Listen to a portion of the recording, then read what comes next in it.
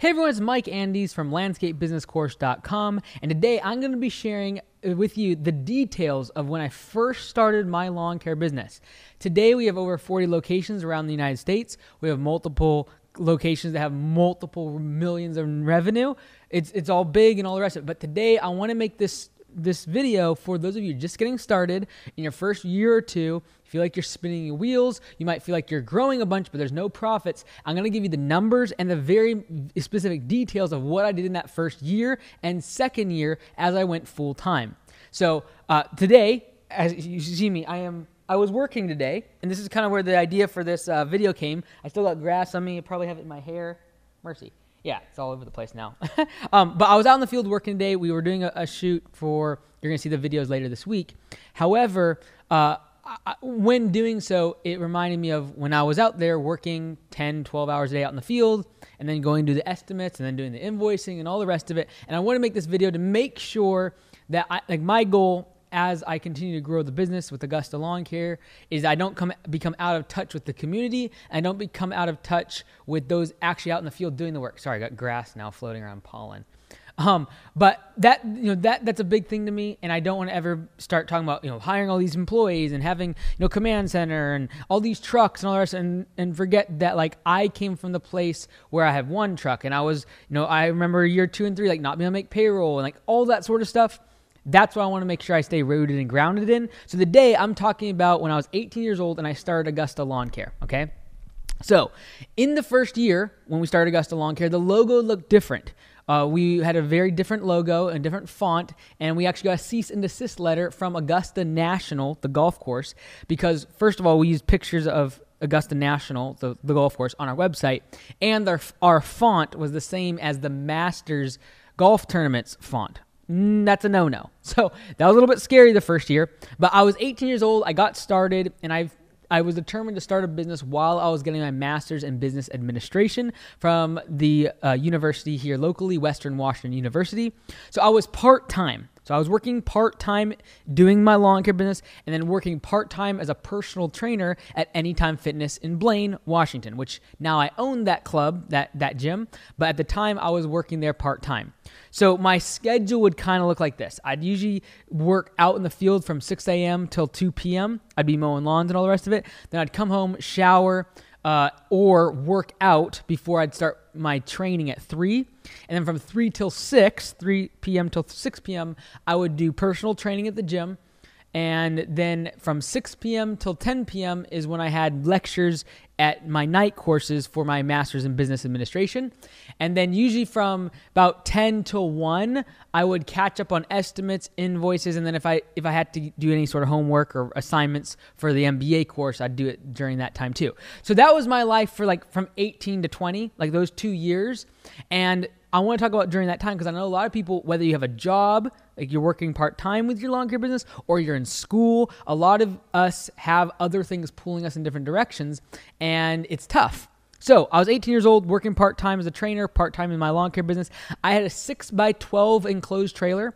I bought it for uh, oh, I'm almost embarrassed to say $2,100. We did recently sell that after using it for like eight years. I think we just sold it for like 800 or $900, I think. So not too bad, the fact that we really get that much use out of it. But for $2,100, got a 6x12 enclosed trailer. I bought that one used off Craigslist, but they had used it one time to move across the country. So it was basically brand new uh, 6x12 enclosed trailer, and I purchased P1, which we still have today, which is a 2008 Ram 1500. It's a two wheel drive, it's a six cylinder, doesn't have much power. It can't pull anything more than that 6x12 enclosed trailer, but at the time it was perfect for what I needed. And I, at the time, and since then, I've always had a work truck, I've a work vehicle. I've never actually owned my own personal vehicle since the time I was 18. And to actually purchase this truck, I sold my Mitsubishi Lancer for I think six grand. So I sold my Mitsubishi Lancer for six grand. I was 18 years old, and I purchased this Dodge truck to start Augusta Lawn Care. Now, the problem was, is at the time, the neighborhood that my family lived in, because I was still living with my parents at this time, and at the time, uh, they would not allow vehicles that had company logos and stuff, they would not allow them to be parked there at night. Uh, so it was it was a little bit difficult. Like I I, I had to kind of like skirt around the board. I had to be nice to them because I was par- I had to park on the road. We didn't have room in the driveway. So uh, what that for, kind of forced me to do is as soon as I got a second truck, I had to go get space to park the trucks. I couldn't park them at my house anymore. But in year one, with that one Dodge truck and the 6x12 trailer, what I did is I definitely wouldn't get away with parking a trailer in my driveway or my family's driveway. And so what I ended up doing is for $40 a month, I rented a parking spot at a storage facility, just the parking spot. And it was just, it wasn't even on pavement, it was literally on gravel. And I just parked my 6x12 trailer there, and then I would drive the truck everywhere else. Like I would drive it for lawns, obviously, but then I'd drive it to work at Anytime Fitness. I would drive it to school. It was my basically my daily driver was P1, the, the, that Dodge truck. And since then, I've always driven an Augusta lawn care vehicle. I, went, I was downgraded from trucks to cars in the past couple years, but still driving a car from Augusta Lawn Care today.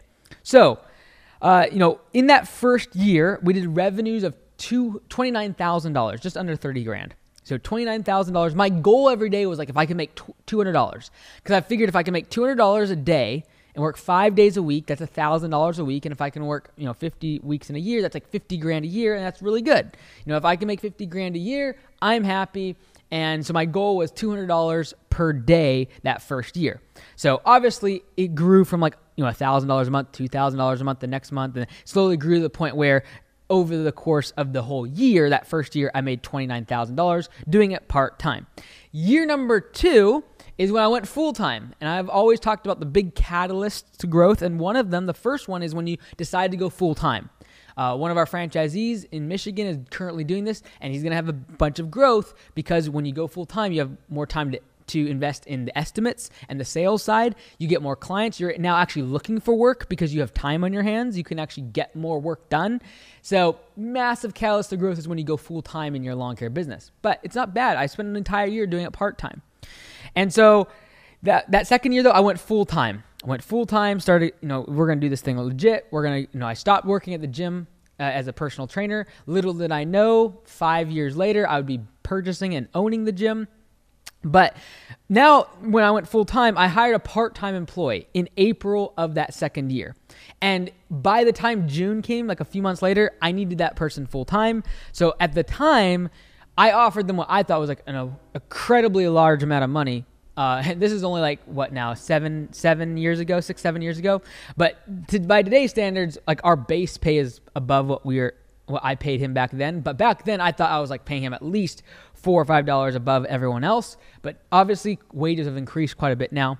Uh, so starting him off as part time in March, or sorry, in April. In June, he went full time, and we were all you know clicking all cylinders. Well, I had to go get another truck. I had to go get another trailer. And in order to store those things, I couldn't do it at our house, and I couldn't do it at the the uh, the storage facility. They didn't have any more spaces to park trucks and or trailers, so I couldn't do it there. And the biggest problem was now I'm having all of these clippings because we're growing, and in our market we have to we have to haul away clippings when we mow grass. And even if you don't have to bag clippings, you get more debris because you got cleanups and leaves and all the rest of it. So it became more and more difficult to go to the, the dump all the time. The dump was like 25 minutes drive. Paying for that, driving back and forth every day was a pain in the neck. I'd usually try to time it to where I would take the clippings on the way to school, for example, uh, in, at night. But it was just a pain in the neck. And so you know, now I just remember that. I remember like leaving leaving Anytime Fitness as a trainer. And then what I'd try to do is before I get to my class at 6 p.m. in Bellingham, I would stop by the dump. So I'd come in my class usually sweating, like with clippings all over me. But, anyways, uh, that second year, got the full timer. Now, though, the storage was a bit of an issue because uh, I couldn't get any more space at the storage facility. And then the second truck, I can't keep that in our neighborhood. So I went and got a storage a con- not a container, but a storage, uh, like a roll up, big roll up door storage place. It was 12 by 40, which is really nice. And I got a screaming amazing deal. For $200 a month, I was able to rent that 12 by 40 foot long storage facility. And I was able to park one truck out front. And for $100 more, I was able to dump all the clippings at the, at the back of the facility. So for $300 a month, I was able to dump all my clippings and park one truck, two trailers, and then I would bring my truck, my company truck, back and forth from work every day. So basically, we had two guys, myself and full time employee, going out and doing solo routes all day long. Both of us had a truck, both of us had a trailer. P2, the second pickup truck that we purchased, was, uh, about $7,000 once I included the registration and the title and all that stuff. And then the 7 by 14 enclosed trailer, which by the way, we still have that, that pickup today. We still use it. That's why used trucks can they can last a long time if you take care of them. We haven't had to do anything major to that truck either. It's like it's been great. Seven by fourteen enclosed trailer purchased it basically brand new from up in Canada. So I only ended up paying four thousand dollars U.S. dollars. It was fifty five hundred dollars Canadian. But uh, that was a 7 by 14 enclosed trailer, and we recently sold that one as well as we've slowly merged from trailered setups to trailer-less setups using the ramp rack. So in year number two, our revenue was $190,000. So I was very happy about that. Literally, we, what, five, like almost 6x. We more than six times the revenue from year one into year number two. And that's absolutely due to the fact that I went full time and I got a full time employee. So massive upgrade in production. The goal in year two was like, if I could make $1,000 a day in gross revenue, I was thrilled. Because in my mind, I was like, okay, if I have $1,000 a day and I have $200 going to an employee, and then I got $100 to cover gas and insurance, I got another $100 to cover equipment and my rent, I was like, $500 I can make in profit every day. This is great. Obviously, though, as the business grows, you have to keep investing it, growing it, you know, putting that money into next the next truck and then the next trailer. Then we got a bigger shop. Now we have bigger rent. Now you got to increase your labor rates because your labor costs are going up. The, the amount we have to pay per hour to employees is much, much more now.